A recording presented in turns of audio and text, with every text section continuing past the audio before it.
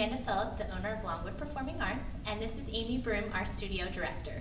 Today, we want to address some of the questions we are frequently asked as students begin classes. We are often asked when the dance year begins and ends. Our session begins on Tuesday, September 4th, 2018, and concludes with our annual student performances in May 2019. What should a dancer wear for dance class? We love for our dancers to feel confident, not only on stage, but in class. We have developed dress requirements to help them be successful. Our student handbook and our website has a description of each class and its requirements. Shoes and dancewear can be conveniently purchased at Longwood Dance Supply adjacent to the studio. What is the drop-off and pickup procedure?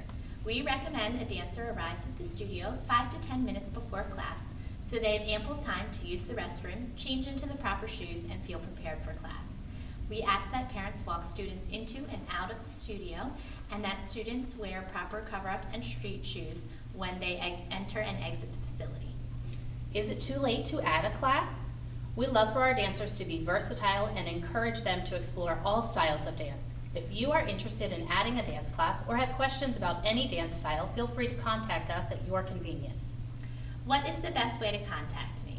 We know as parents you have very busy schedules, so we have multiple points of contact so that way you can connect with us at your convenience. You can email at longwoodperf at AOL.com. We check the email periodically throughout the day, or you can call the studio office at 610-444-6144. We would like to thank you for choosing Longwood Performing Arts and are very excited for you to be a part of our LPA dance family. We look forward to continuing our legacy of excellence in the dance community.